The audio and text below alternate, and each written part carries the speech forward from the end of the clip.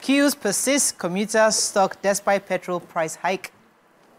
Federal government kicks off consumer credits with 500,000 beneficiaries. Lagos extends work from home policy. Abure clashes with Otti Obi over setting up of interim exco. NEC gives FCT Kwara three others Monday deadline on state police. Chinese firm to build Lekki Epe link bridge. Policeman, 12 others killed in Imo, Niger Plateau attacks. Okay, which story are we taking? so, um, according to the nation, despite the increase of um, a liter of um, petrol from the 600 um, naira range to 855 naira per liter at the NNPC stations, which of course triggered a continuous increment between major marketers and independent marketers. So we have between 855 to 8,200 naira per liter for from at all filling stations now. The, the, there's still continuous queues across states. The nation had done, you know, um, reports across all the states, and this increase in price did not change our situation. You still find most filling stations locked up. You find queues across filling stations. The NNPC had admitted they are owing suppliers 6.8 billion in debt, and um, the, of course, led to um, explain that as the reason for the initial queues and their inability to pay it. So they said they would no, no longer be able to pay the difference. And so we thought the difference was covered up by this increment, but you can see queues. I, I had to go and also for this money. It's not funny anymore. Yeah. Um, so, you know, this situation is across all states. They've taken reports from Lagos to Abuja, Warri, Kano, just all states, and they're seeing the, different, the, the continuous queues and hardship Nigerians are going through. Of course, you have um, certain bodies speaking up.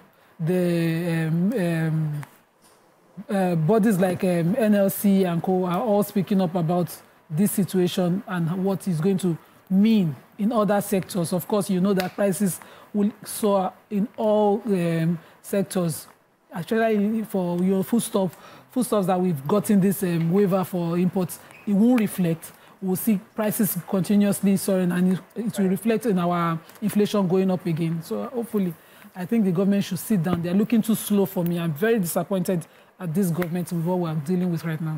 Yeah. Okay. Uh, the federal government has kicked off um, the consumer credit with 500,000 beneficiaries. So they said successful applicants of the consumer credit loan will start getting cash next week. Uh, the Chief Executive Officer, Consumer Credit Corporation, Credit Corp, Uzoma Nwagba, um, says according to him, 100 billion had been released to roll out to the beneficiaries. And as we know, the federal government had introduced this scheme to remove structural, market and policy bar barriers and accelerate access to consumer credit by Nigerians. He says that um, the first phase of the initiative will see 15,000 civil servants being credited in each round, continuing until they reach their target 500,000 civil servants. Um, they said also that the initial phase will be extended to include other eligible members of the public, broadening its impact on Nigeria's economy. So what that mean, what they're saying is this first batch, the first um, batch that they're rolling out will be civil servants. Eventually, you know, all others, other eligible members will be added to this. And um, we know that this is a collaboration with the government and then Credit Corp and um, FCMB. So Credit Direct is Nigeria's largest lender to civil servants, the subsidiary of FCMB.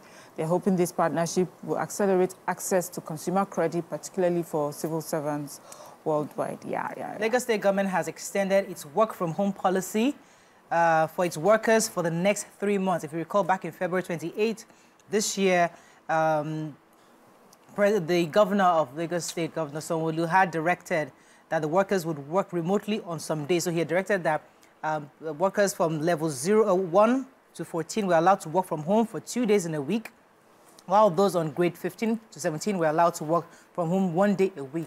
So now this has been extended for the next three months. So hopefully that should reduce, especially because of the issue of transportation and stuff like that. Focus should be on productivity. Okay, so the, the, governor is still in the news. He went with the president to China and there was a signing of contracts which should bring good news to people in my industry because now the CCNC, that's the China Civil Engineering Construction Corporation, has signed a contract to construct the Lekki Epe Link Bridge. Um, they also agreed that two, two contracts were signed by the governor of Lagos State in China. One was for construction of road, second was for generation of power. The generation of power is about 50 megawatts. The solar power system would be built to support tertiary institutions within the states so that the challenge of um, whatever happens with um, the, the NERC will not affect, national grid will not affect them.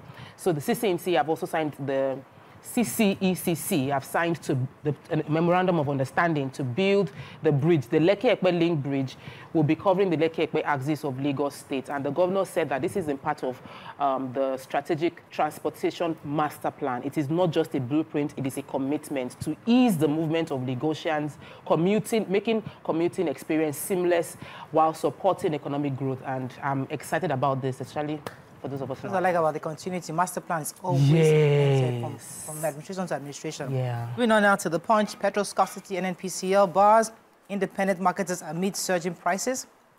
Nigeria's economy has stagnated, says Bill Gates. NEC fears poor harvest as flooding kills um, 205.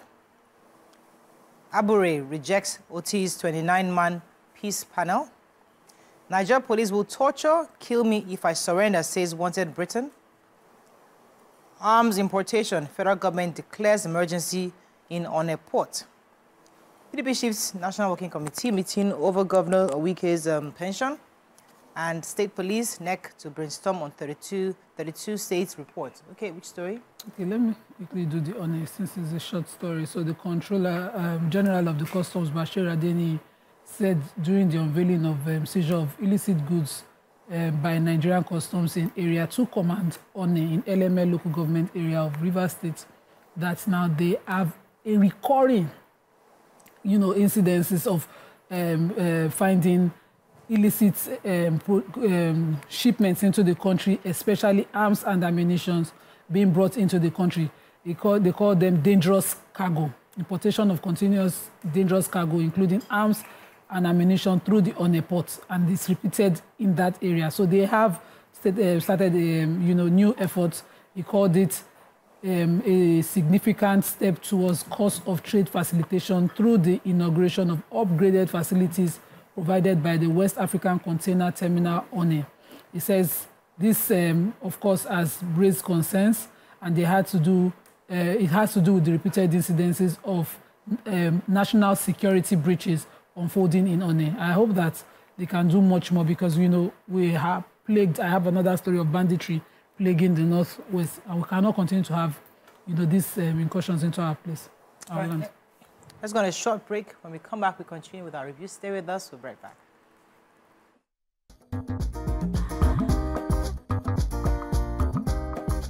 Stay tuned. Your view will be right back.